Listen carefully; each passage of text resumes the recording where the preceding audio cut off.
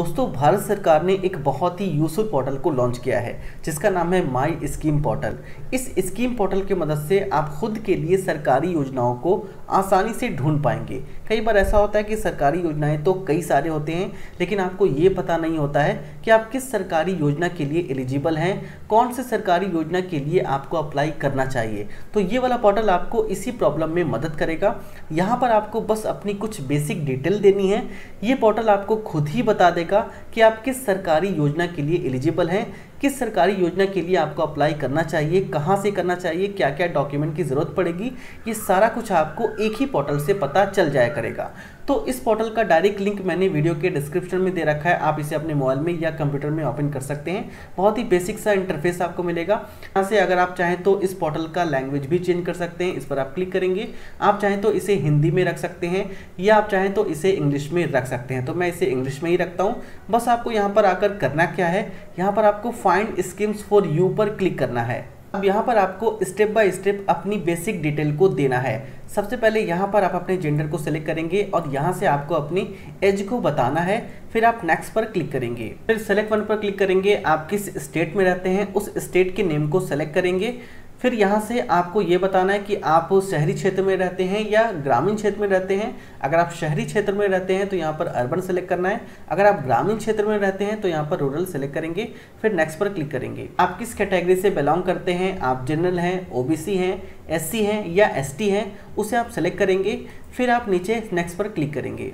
फिर आपसे पूछा जा रहा है, क्या आप अपाहिज हैं या नहीं? अगर आप अपाहिज हैं तो यस सेलेक्ट करेंगे, नहीं तो नो सेलेक्ट करेंगे। अगर आप यस सेलेक्ट करते हैं तो यहाँ पर आपसे ये पूछा जाएगा, कि आप कितने प्रतिशत अपाहिज हैं? तो सेलेक्ट वन पर क्लिक करेंगे, यहाँ से प्रतिशत को सेलेक्ट कर सकते हैं। अगर आप नो सेलेक्ट करते हैं तो यहाँ पर आपको ये बताना होगा कि आप माइनॉरिटी से बिलोंग करते हैं या नहीं?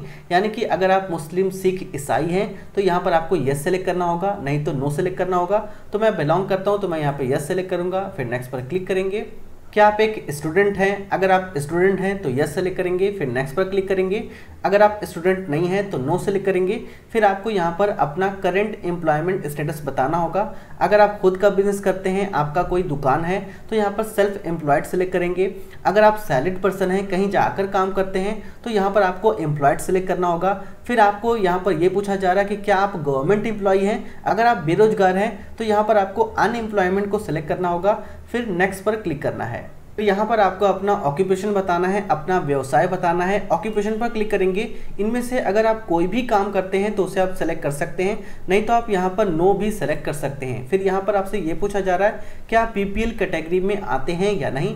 यानी कि अगर आपके पास राशन कार्ड है तो इसे आपको यस सेलेक्ट करना है, नहीं तो आप नो सेलेक्ट करेंगे। अगर आप यस सेलेक्ट करते हैं तो यहाँ पर आपसे ये पूछा जा रहा है कि आप डेस्टिट्यूट पेन्यूरी एक्सट्रीम हार्डशिप या डिस्ट्रेस में आते हैं या नहीं? तो यहाँ पर आपको नो सेलेक्ट करना है। फिर आप नेक्स्ट पर क्लिक करेंगे। अगर आप यहाँ पर बीपीएल में नो सेलेक्ट करते हैं तो यहाँ पर आपको ये बताना होगा कि आपका फैमिली एनुअल इनकम क्या है। तो कोई भी एस्टिमेटेड एनुअल इनकम यहाँ पर आप दे सकते हैं। फिर नेक्स्ट पर क्लिक करेंगे। आपके बेसिक डिटेल के मुताबिक जिस भी सरकारी योजना के लिए आप एलिजिबल होंगे, उसकी लिस्ट आपके सामने आ जाएगी। जैसा कि आप देख सकते हैं कि मेरे बेसिक डिटेल के मुताबिक मैं इस दो सरकारी योजना के लिए एलिजिबल हूँ। मैं चाहूँ तो इस दो सरकारी योजना के लिए अप्लाई कर सकता हूँ। तो जिस भी सरकारी योजना के लिए आप अप्लाई करना चाहते हैं, उसे आपको बस यहाँ से सेलेक्ट करना है, फिर आप सबमिट पर क्लिक करेंगे। फिर इस तरह का पेज आएगा। इस पार्टिकुलर सरकारी योजना के डिटेल को जानने के लिए यहाँ पर आपको एरो के सिंबल पर क्लिक करना है। फिर आपके सामने इस सरकारी योजना का कंप्लीट डिटेल आ जाएगा। नीचे स्क्रॉल करेंगे तो आप इसके बेनिफिट को देख सकते हैं, साथ ही यहाँ पर आप इसके एलिजिबिलिटी क्राइटेरिया को देख सकते हैं।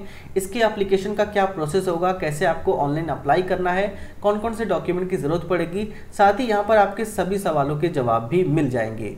और यहाँ पर आपको चेक एलिजिबिलिटी का एक बटन मिलता है, इस पर आप क्लिक करेंगे। अब यहाँ पे कुछ सवाल आपसे पूछे जा रहा है। कि आपका एज 15 से 45 साल के बीच में है? तो इसे आपको यस या नो पर सिलेक्ट करना है। फिर यहाँ पर आपसे पूछा जा रहा है कि आप माइनॉरिटी कम्युनिटी से बिलोंग करते हैं? तो इसे आप यस या नो में सेलेक्ट करेंगे। क्या आप पाँचवीं क्लास से ज़्यादा तक पढ़े हुए हैं?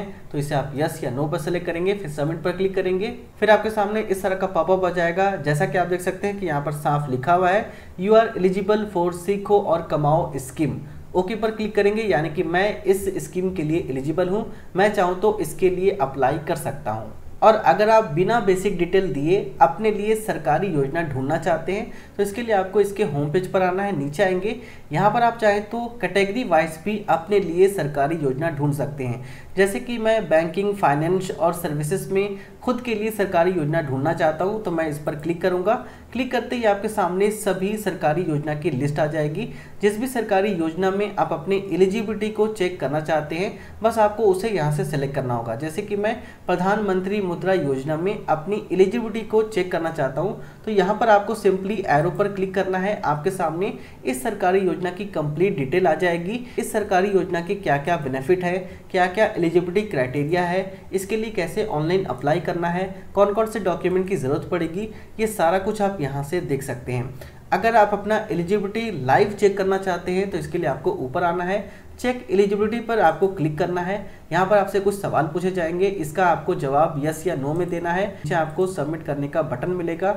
इस पर आपको सिंपली क्लिक करना है। क्लिक करते ही आपको ये बता देगा कि आप इसके लिए एलिजिबल हैं या नहीं। अगर आप एलिजिबल नहीं होंगे तो यहाँ पर बता दिया जाएगा you are not eligible for this सरकारी योजना ठीक है? तो मैं अभी इसके लिए एलिजिबल नहीं हूँ ओके पर क्लिक करेंगे। अगर आप एलिजिबल होंगे तो यहाँ पर आपको बता दिया जाएगा कि आप एलिजिबल इस सरकारी योजना के लिए हैं ठीक है? अगर आप इस सरकारी योजना के लिए अप्लाई करना चाहते हैं तो नीचे आप जा, जाएँगे तो अप्लाई के प्रोसेस में आपको एक लिंक दिखेगा। सिंपली आपको इस लिंक पर क्लिक करना है ये आपको उस वेबसाइट पर रिडायरेक्ट कर देगा। यहाँ से आप उस सरकारी योजना के लिए डायरेक्टली अप्लाई कर सकते हैं।